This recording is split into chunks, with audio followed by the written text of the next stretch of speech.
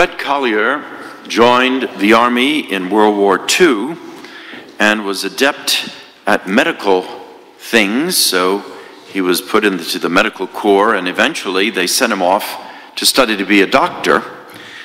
And then 1945 came, and the war was over. Thanks be to God. But the problem back then is there were no GI bills.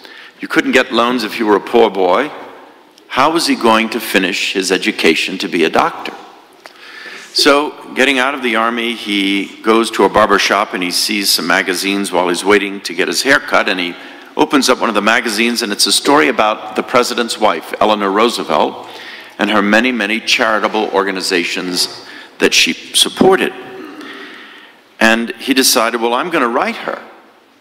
I'm going to write the president's wife. Actually, President Franklin Roosevelt had just died a few months earlier, and so it is now the president's widow that he writes. His girlfriend said, Oh, that'll never work.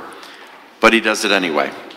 He writes the letter, and sometime later, he gets a response.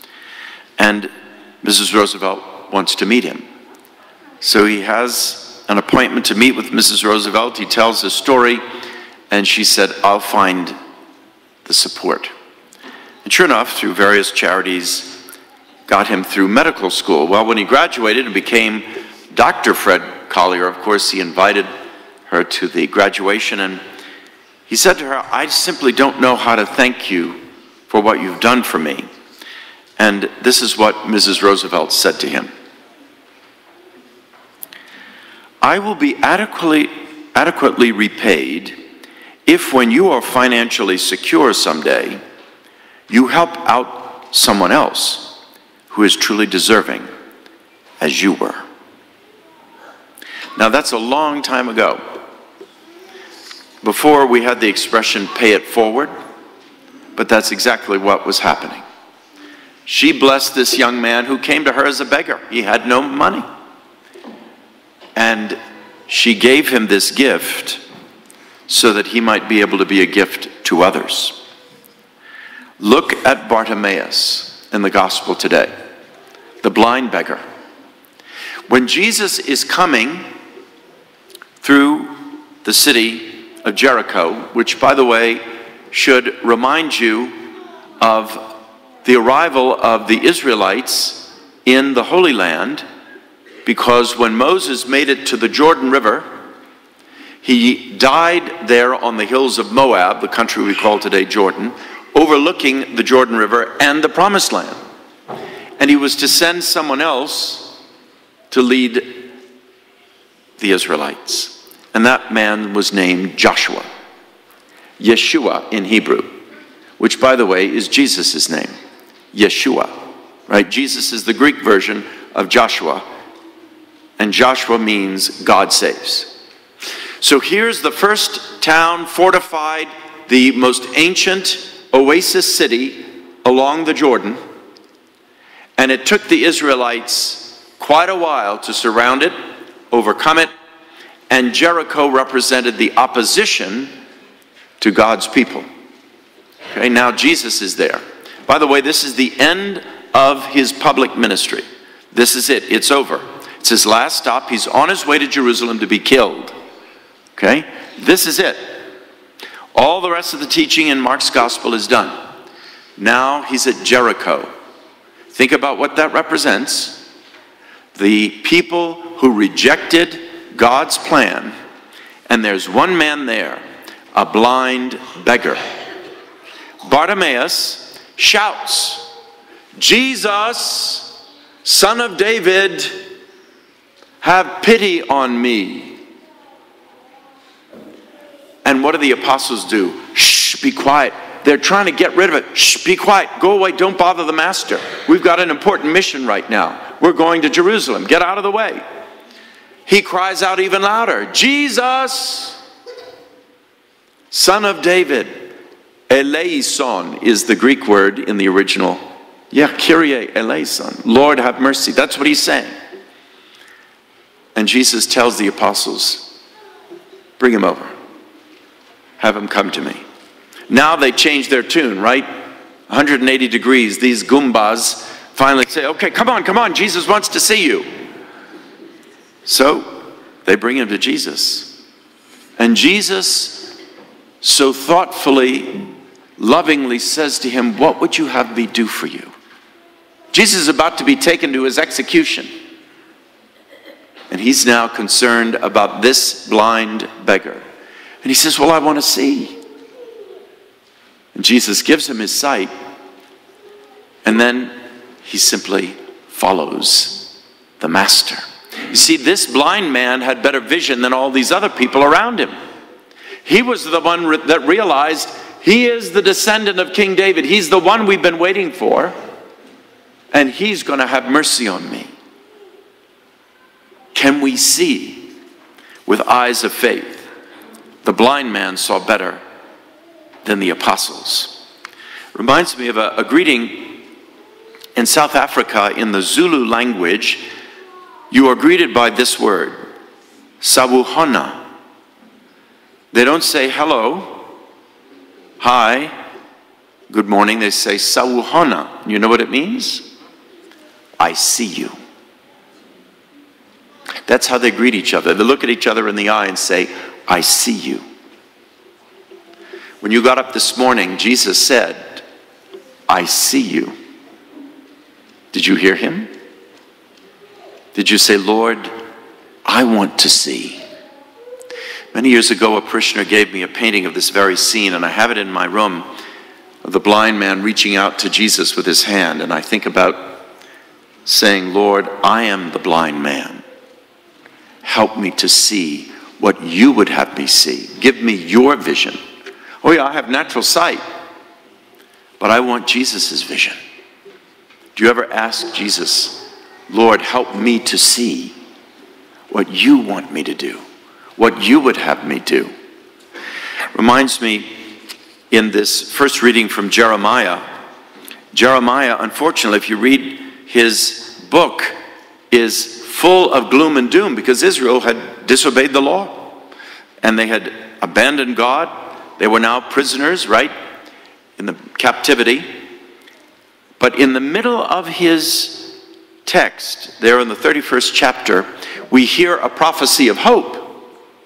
And if you go to the end of chapter 31, from which we hear today, there is something that is seen nowhere else in the Old Covenant, nowhere else in the Bible, until we get to the New Covenant. Let's see if you can figure it out. The prophet says, Behold, the days are coming when I will make a new covenant with the house of Israel and the house of Judah not like the covenant which I made with their fathers when I took them by the hand to bring them out of the land of Egypt. My covenant which they broke, though I was their husband, says the Lord.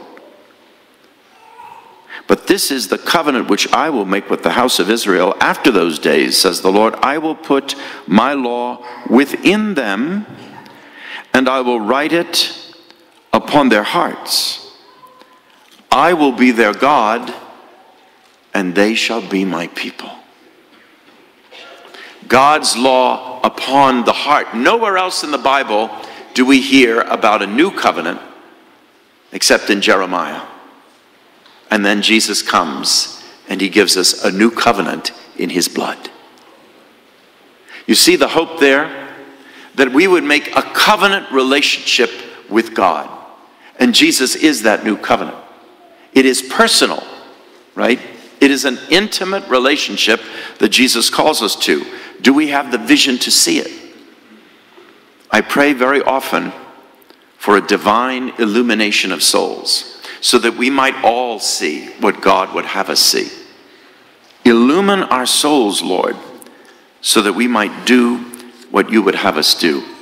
Remember the story of a woman born in 1820 by the name of Fanny Crosby. When she was a little girl, six weeks old, I believe, they discovered she had some trouble with her eyes. She wasn't seeing, and they gave her various treatments, and tragically, she went blind from the treatments.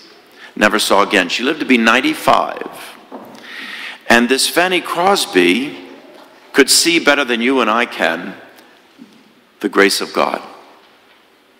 And she wrote poetry and hymns in response to that inner vision. She wrote 8,000 hymns in her lifetime. She was a real star of the 19th century, died in 1915, and one of her most famous songs, hymns that she wrote, is called Blessed Assurance, about the assurance, the confidence that we have in faith. And these are the lyrics of that hymn. Blessed assurance, Jesus is mine. Oh, what a foretaste of glory divine, heir of salvation, purchase of God, born of his Spirit, and washed in his blood. Perfect submission, perfect delight, visions of rapture now burst on my sight. Angels descending bring from above echoes of mercy and whispers of love. Perfect submission, all is at rest. I in my Savior am happy and blessed. Watching and waiting, looking above, filled with His goodness, lost in His love. This is my story. This is my song, praising my Savior all the day long. Notice she said, Visions of rapture now burst on my sight. This is a blind woman who sees better than I can the vision of heaven, the invisible world, the blessed assurance of God's grace and mercy. You know, this month we celebrated St. Teresa of Avila on her feast day, October 15th. And Teresa, who had the vision of heaven, right, the mystical Teresa, spoke about this in a poem about the body. Now, Paul, St. Paul, talks about this mystical body into which we are incorporated. Just yesterday, we had the members of our RCIA, those catechumens and candidates who are going to be received at Easter into the sacraments, they were welcomed into the church officially, and you could see the enthusiasm that they have, which maybe you and I take for granted because we we can see, we see it all, right? Because we've been given it since our baptism, but we've taken it for granted. They see with an enthusiasm, with a zeal, what the grace of God can do for their hearts. Well, just like those who were just confirmed over this weekend, we had some adults in the adult confirmations. They have that new zeal. St. Teresa puts it this way She says, Christ has no body but yours, no hands, no feet on earth but yours. Yours are the eyes with which he looks compassion on this world. Yours are the feet with which he walks to do good. Yours are the hands with which he blesses all the world.